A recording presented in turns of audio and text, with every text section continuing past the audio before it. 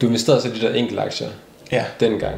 ja. Har det så ændret sig med tiden, eller hvis du sådan skulle fortælle om din investeringsstrategi? Jamen det har ændret sig faktisk. Det har ændret sig ret meget. Fordi nu har jeg klart størstedelen af mine investeringer i passive indeksfonde. Så det er især danske passive investeringsforeninger, som ikke koster så meget at have.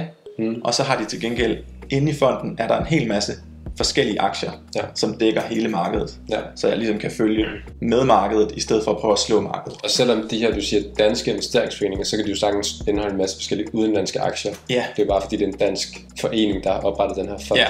ja.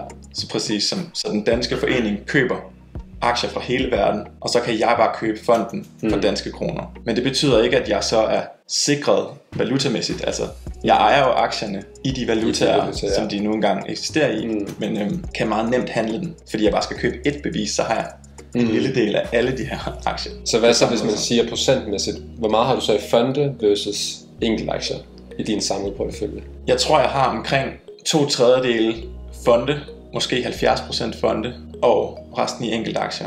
og, og apropos ikke at anbefale ting. Jeg ved ikke, hvorfor jeg altid starter med at sige ting, jeg ikke vil anbefale. jeg tænker, jeg vil anbefale. Men det vil jeg heller ikke anbefale. Okay. Jeg vil jo ikke anbefale noget. Jeg synes, man selv skal Oplyse bare, snakker, Ja, ja, ja. folk danner deres egne meninger. Præcis, man Ja. skal gøre det, man selv føler for. Ja. Men grunden til, at jeg har så relativt en stor andel i enkeltaktier, ifølge hvad jeg selv vil sige, Ja. det er, at jeg er ret risikovillig. Jeg har ikke noget problem med, hvis de penge, de tanker 50% ned, Hmm. og så kommer lidt op igen. Og, Ja. ja. Altså, jeg håber, det er grunden til, at jeg ikke har noget problem med det, det er, fordi jeg håber, at de At det går kommer op vej. igen Ja. på et tidspunkt. En firedobling, ligesom Vestas. Lige præcis. Og jeg har masser af tid.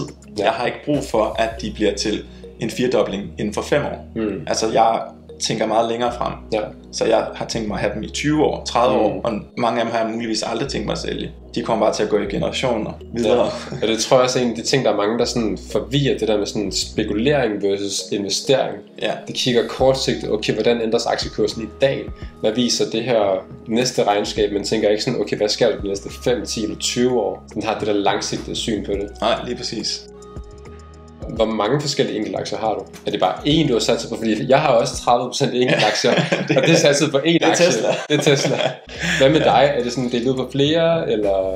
Det er delt ud på flere. Jeg har faktisk bare relativt små beløber i en hel masse, især Dividend Aristocrats og Dividend Okay. Kings. Ja, Så jeg har fokuseret meget på at købe udbytteaktier. Dividend Aristocrats, det er aktier, der har betalt udbytte og øget det hvert år, Mm. minimum i 25 år, og er medlem af det amerikanske S&P 500. Ja. Og så Dividend Kings, det er dem, der har gjort det i 50 år i stedet for. ja. De behøver så ikke være medlem i S&P, men øhm, Men du har Så- de der udbytteaktier. jeg har især mange udbytteaktier, ja. Ja, Øhm. udenlandske, amerikanske.